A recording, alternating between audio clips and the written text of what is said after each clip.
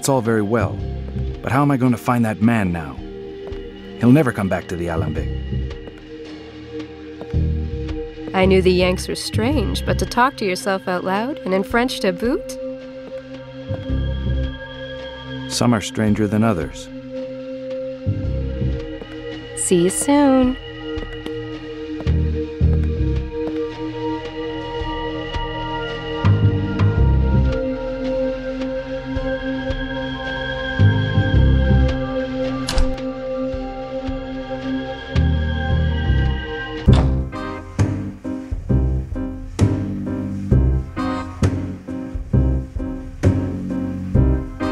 MacPherson? Here again? You've got back your taste for life?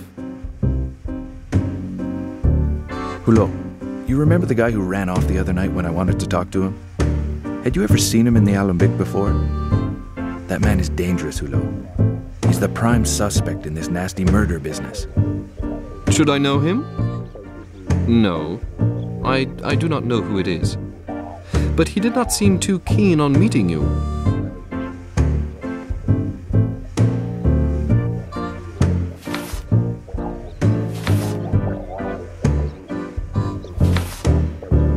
This time, Hulot, I think Mallet really has done something shady. Has he been back since that night?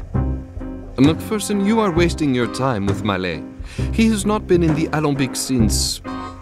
Anyway, I already told you he's a stand up kind of guy. He paid me what he owed, and that is all I care about. Unless I'm very much mistaken, Hulot. You were the last person to see Mallet before he disappeared the other night. You don't just run off like that for no reason. Believe me, Has got something serious on his conscience. Maybe he's mixed up in this murder. I will not say another word about Mallet, but I am sure of one thing he is not a killer.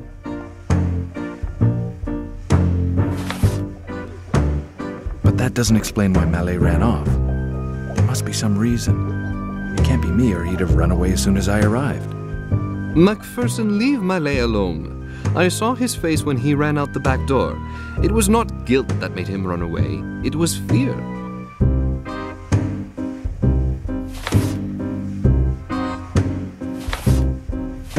I don't mean to go on, but it was very strange of Mallet to run off like that. It really sets you thinking. In fact, I'm thinking about talking to the police about him. Him and his circle of friends. The guy who ran off seemed much more guilty. Maybe it has something to do with politics. He had a foreign look about him, this chap with his mustache. Try finding him. What do you know about my investigation, Albert? Strangely, no one has said a word. Nobody cares, except your client, I imagine. The press has hardly mentioned it. Even the police have not really investigated with much conviction.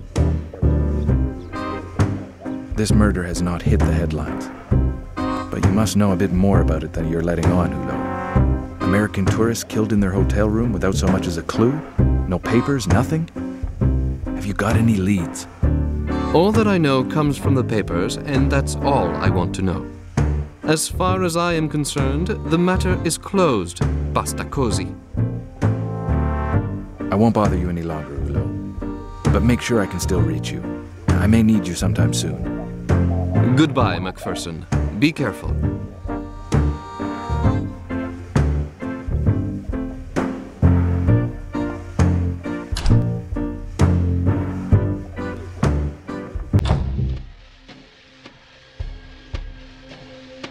Great! The private eye returns.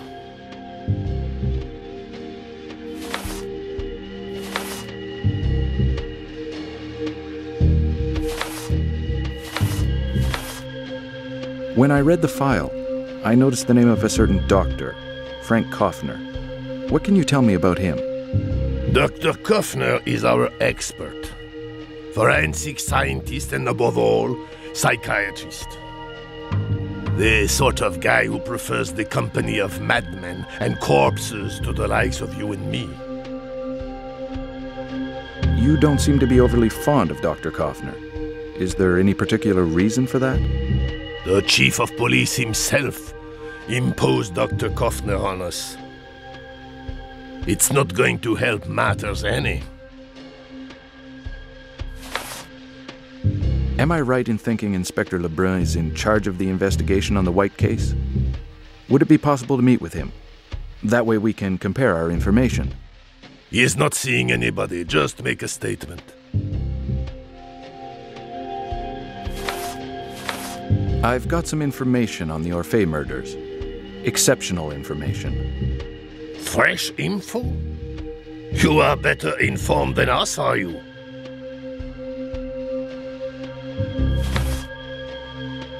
I have some fabulous new information on the Orphée case. A portrait of the killer. Here, look.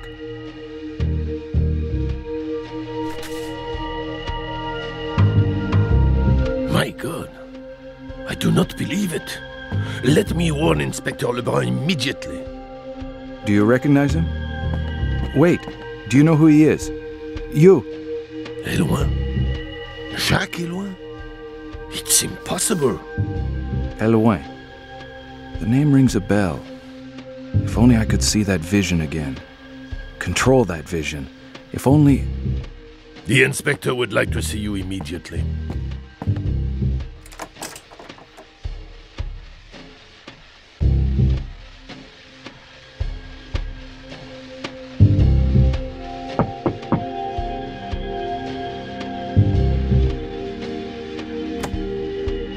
Come in, come in, dear sir, come in.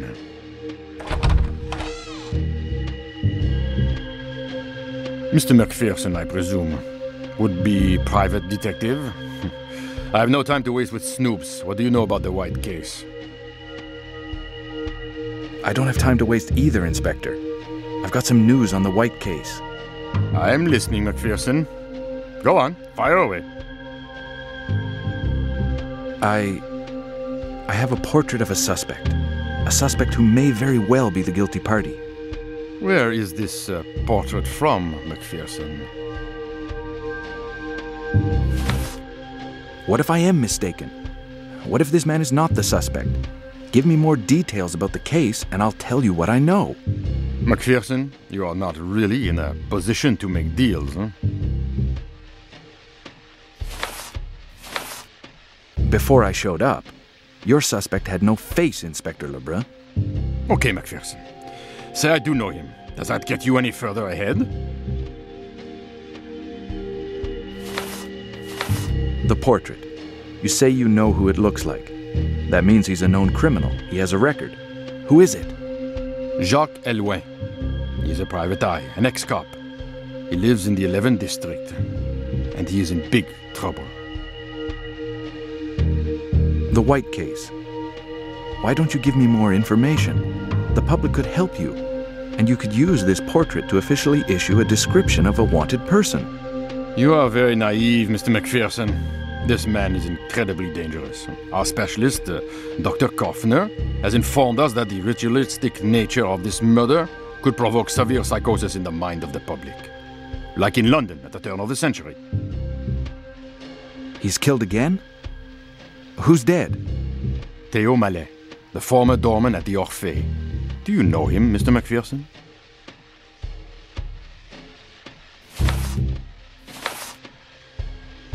Maybe it's just a coincidence. Mallet could have been killed for some other reason. From what I hear, he was no choir boy. Mallet was decapitated, Mr. MacPherson, like the Whites. He was an important witness in this case, one who did not have time to make a statement. His death means other witnesses are in danger, and that includes you, if I understand your role in this correctly. Now you have what you want. Make yourself scarce. I need to think. Goodbye, MacPherson.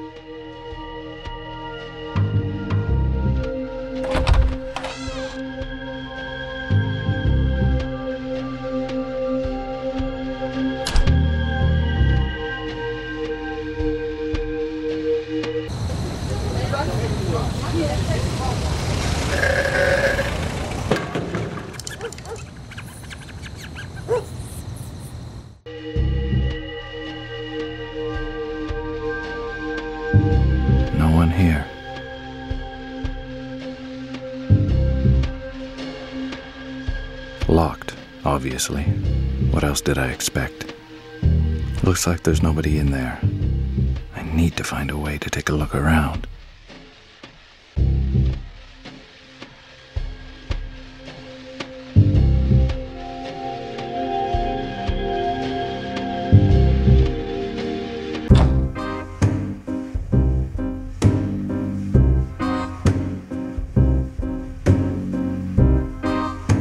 MacPherson? Here again? You've got back your tit for life? Hulot, I have a small problem. There's this lock I've mislaid the key to. Would you know of a way I could open it without damaging anything?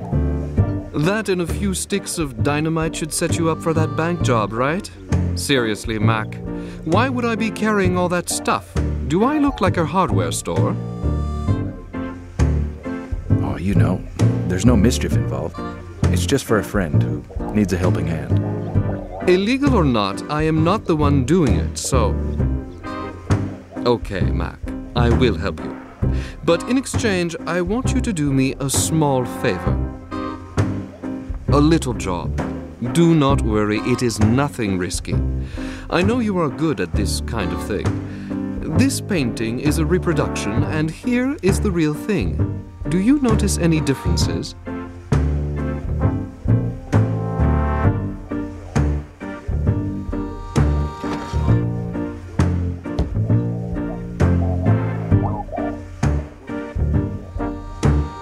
I won't bother you any longer, Hulot. But make sure I can still reach you.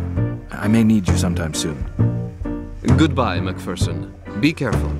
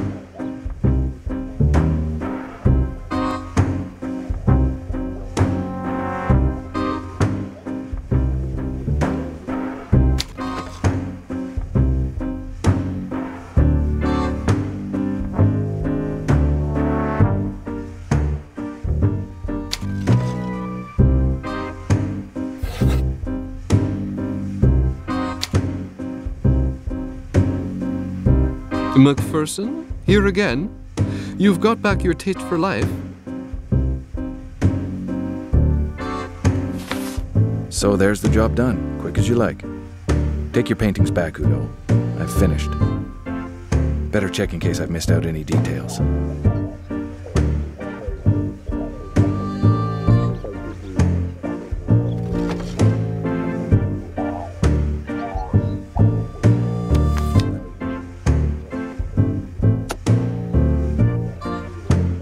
Won't bother you any longer, Hulot. But make sure I can still reach you. I may need you sometime soon. Goodbye, MacPherson. Be careful.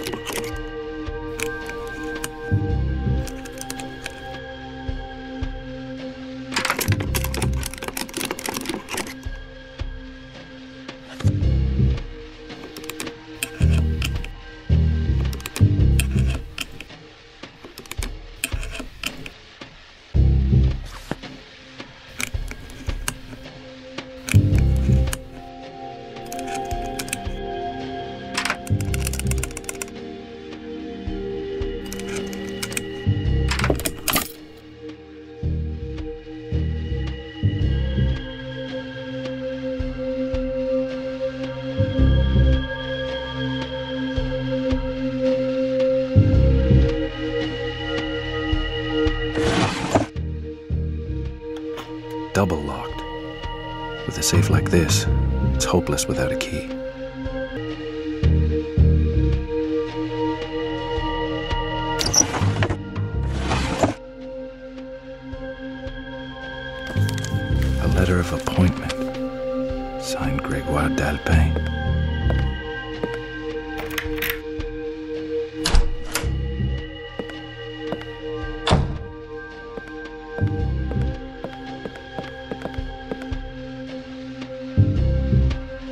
But who, who are you?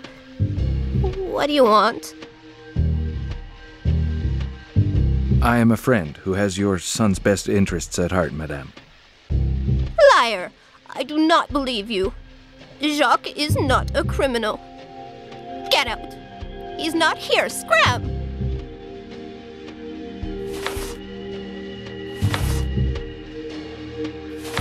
Madame, Eloin is wanted by the police for murder. Liar! I do not believe you. Jacques is not a criminal. Get out! He's not here. Scram! Any idea where he may be hiding? Hiding? I swear he's not here. Why would he hide? Uh, I've not seen him uh, for several days. I have no idea where he is. You're lying, Madame Eloin. Tell me where I can find your son. I mean him no harm. On the contrary, I need to talk to him. You do not want to harm him.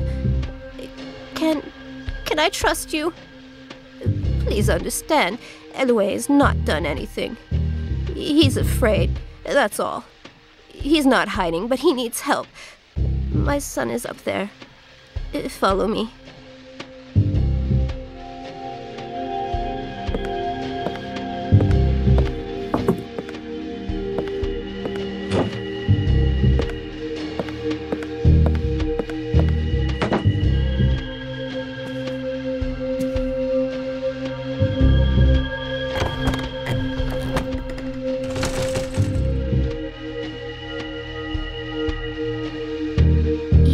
He's upstairs.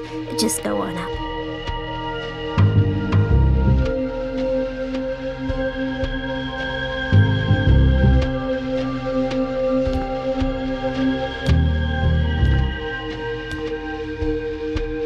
Right. Jacques Eloin, I'm arresting you for the murder of Regis and Ruby White. I'm innocent. I may have led the murderer to the Eatons, but I did not kill them. The Eatons? What are you talking about? It's a long story, but this is what happened. It was after a rather tiresome case. A story of adultery that ended badly. The husband had hired me because his wife had supposedly run off with the money. She told quite another story, of course. I will spare you the details. I came home shattered. During my absence, certain De Alpin had come by about some employees who had swindled him. I knew that De Alpin was a banker and that there would be plenty of money in it, but I was dead on my feet. So I told my mother to call him back and tell him to get lost. That's when she showed me the check. So, off I went again.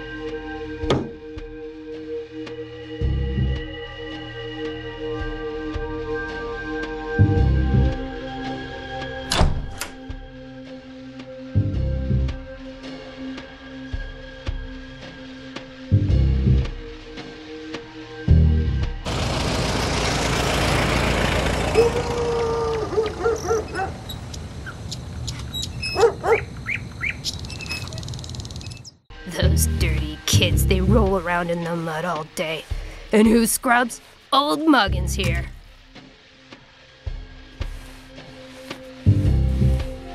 Who are you? Can't you see I'm not here? If it's for the poor, I gave it the office.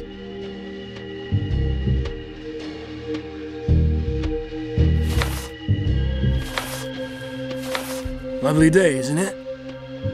Say, can you give me the Eaton's room number?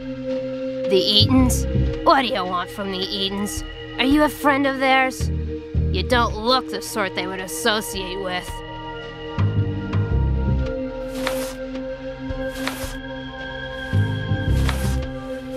I'm Jacques Eloin, private detective. I hate to be any bother, but I have a few questions to ask the Eatons. A detective? I knew they were shady, those two. With all that riffraff that Paul knocked about with. That Montparnasse bunch. In any case, they have split.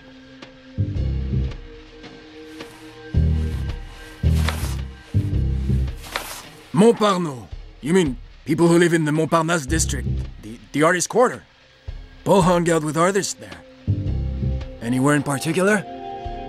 The Olympic gang? That's where all the layabouts met. Birds of a feather stick together, as they say.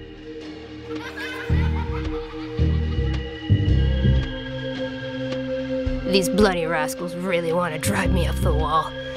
I have a floor to scrub. So you with the mustache, clear off or I'll chuck you out on your ear.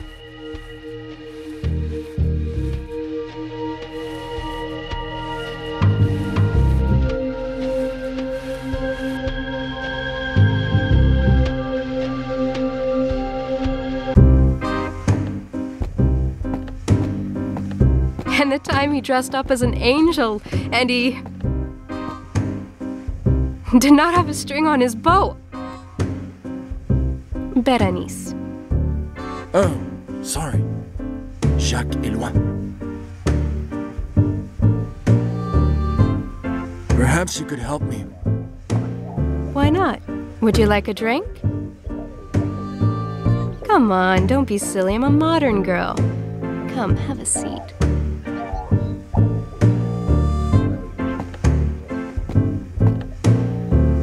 You've never been here. I would remember your face. I'm curious to know what brings you here.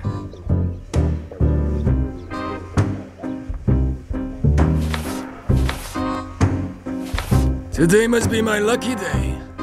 In my job, I usually deal with punks, not cute dolls like you. I'm a detective. You happen to know a certain Paul Eaton? The American? Paul Eaton? Yes, I know him. He's been filling our heads with his stories for the past month. He and the owner are mates.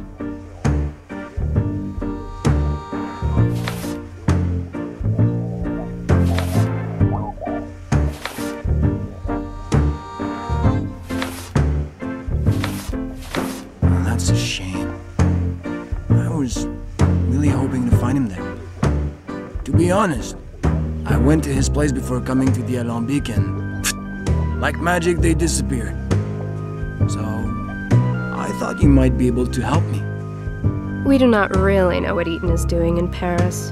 In the beginning, he said he was with his sister, a student. After a few binges, his sister had become his wife, and they were both onto the scam of the century.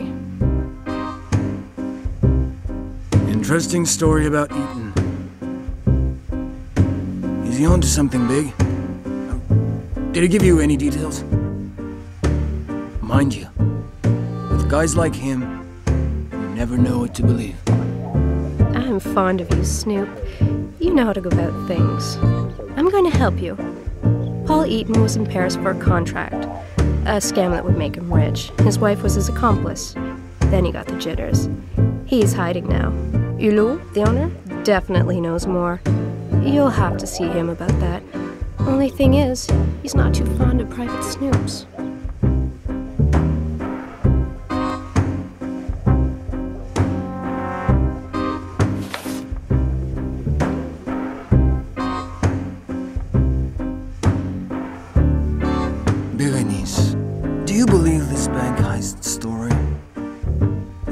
Surely have been planning something. He could not have just given up like a complete idiot. It must be a diversion. It smacks of a wild goose chase. Charming and smart, that PI. only he has it wrong. It was not the banker's money the Eatons were after, it was a treasure he had hidden in his place. The woman took care of seducing him. Paul was there to pick the fruit when it was ripe. He was completely manipulated, that poor Paul.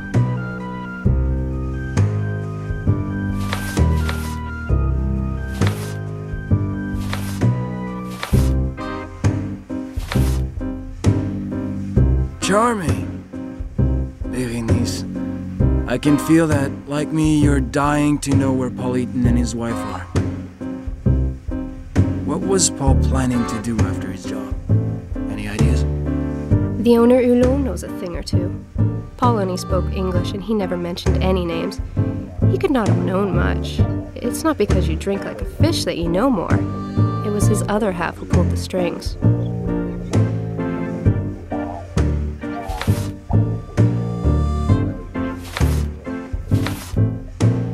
The owner, Hulot, is also your friend.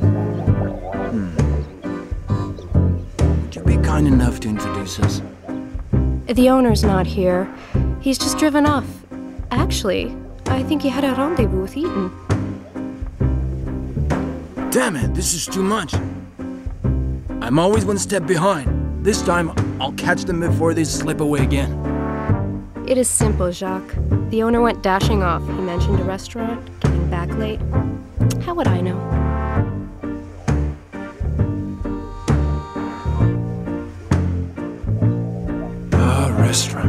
How fitting. I was planning on inviting you. But a restaurant in Paris. It's like looking for a needle in the haystack. Any idea which one? And why would I know? Eaton talked about going out to a chic restaurant with his wife, but he did not even know which one. It was Hulot who scribbled down the address before leaving.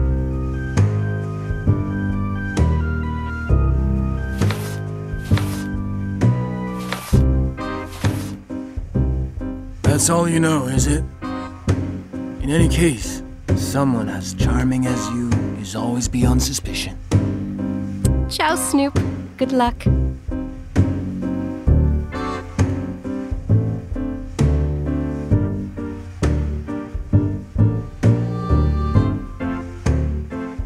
Look, a notepad. The first page seems to have been ripped out in a hurry.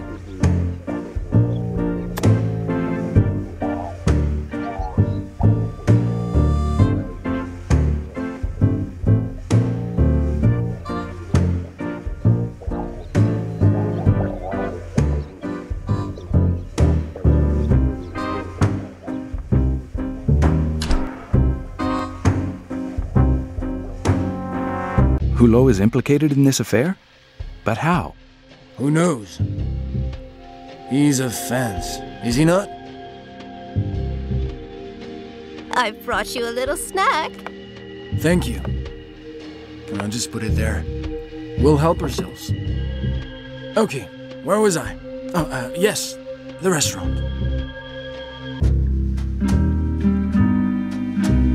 Good evening, sir. Welcome to Chez Alexandre.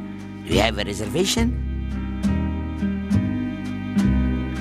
I'm here to see some friends. Two Americans, a couple. The Eatons. I hope I haven't missed them. I do not see any reservation under that name. Maybe they have reserved a table in another establishment. Oh, come on, try a little. Another guy may have joined them. A certain Hulot. You should have said so. Of course I remember them. They had quite a scene during the meal, arguing no stop. in the end, a man turned up and they all left in a car.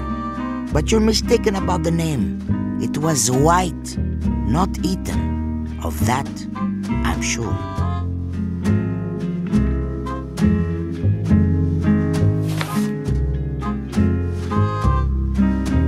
I'm a private detective, hired by Grégoire de Alpin. I have to find them and quickly. I'm fed up of chasing after them. Any idea what it could be? Got an address. Sir, this is not my job to spy on people. It would seem to be yours, though. All that matters to me is that they enjoyed their meal and paid their bill. Actually, they put it on their account at the Hotel Orphée. A French gentleman joined them, and they chatted for a while before leaving together. I do not know what I want. I hope this is of some help to you because you seem to be completely lost.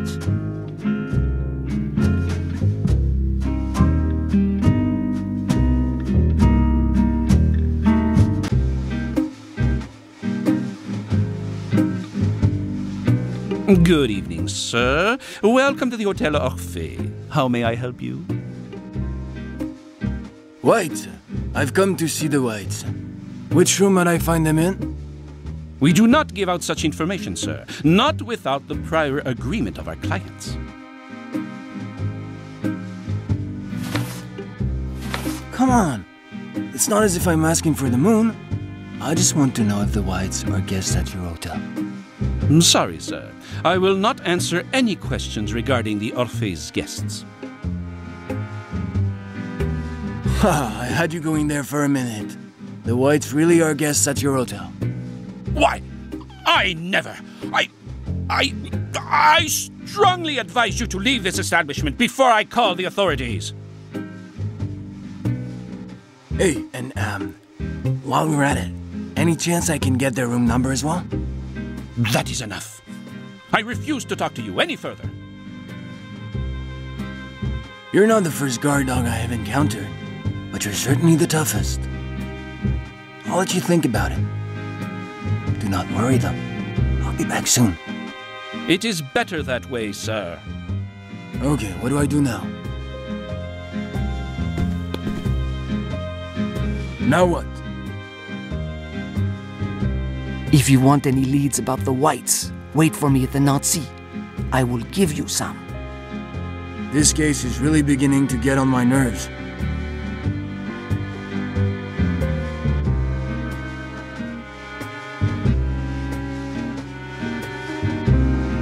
What can I get you, son?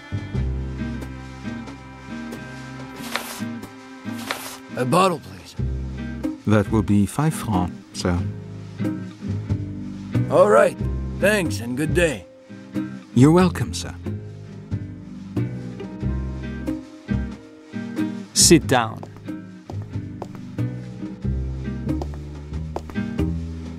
What do you want with the Whites? You look like someone who might be able to slip me some info about the Whites. We will see. How much will you pay?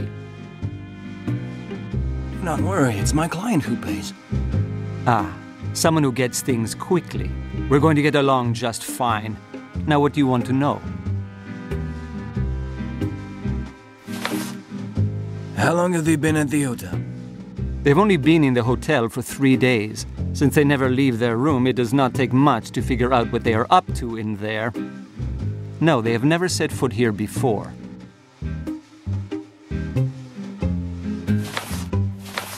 Have the Whites had any visitors since their arrival? Solitary types. If you ask me, they are not tourists. They hardly ever came out of their hole. They put everything on the hotel bill meals, clothes, alcohol. The room has been booked for a good month. The man went out a couple of times at night. Will you give me their room number? I'm gonna pay them a little visit. Room 507, but you are out of luck. They are not there. Must have kissed and made up. The dame has dyed her hair red. Look, I've got other things to do, you know. It's not like your money is going to a life of leisure. You ought to hire a private eye.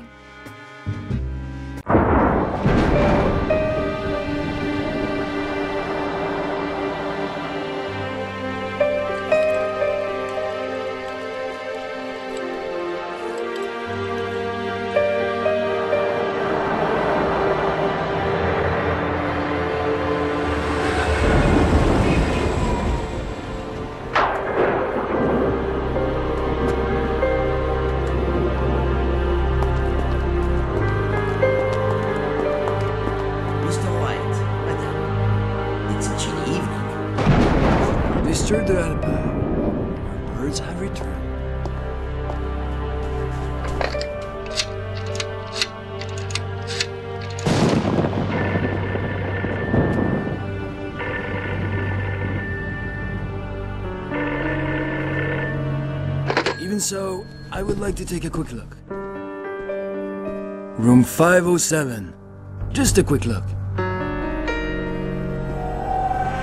That's when I saw the most amazing thing in my life. I do not know if it was the smoke that blurred my vision, but one thing is for sure. That creature was not trying to keep them warm. And the damn creature saw me. I have fought in the war, you know, but I've never seen the likes of that. Its eyes stared at me, I ran. Yes, I fled like a little kid. There must have been something in the air because I fainted right after that. I came around later, near the Alambic. That's where you saw me. Mom? Is that you? Ah, no.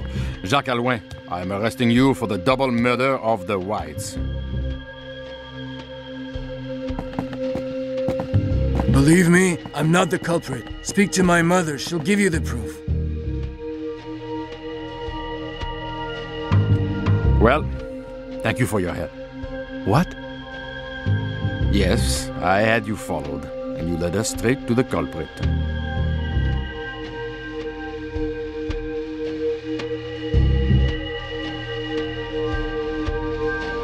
No.